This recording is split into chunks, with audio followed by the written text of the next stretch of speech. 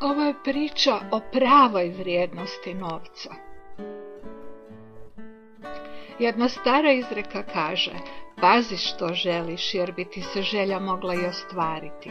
E baš se to dogodilo kralju Midi kad je od boga vina zatražio dar da se sve što dotakne pretvori u zlato.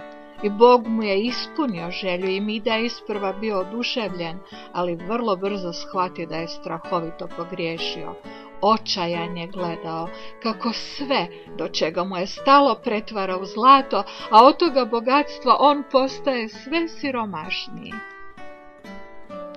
Gladovao je, jer su se hrana i piće pretvarali u zlato čim bi ih dotaknuo.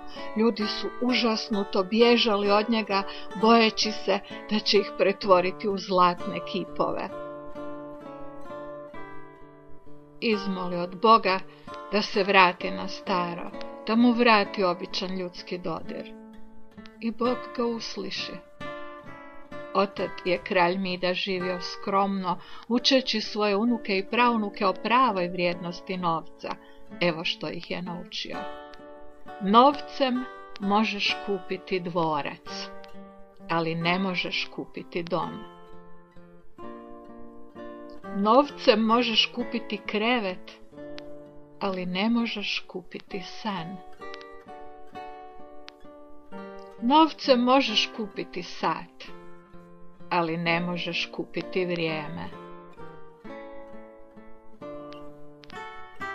Novcem možeš kupiti knjigu, ali ne možeš kupiti mudrost.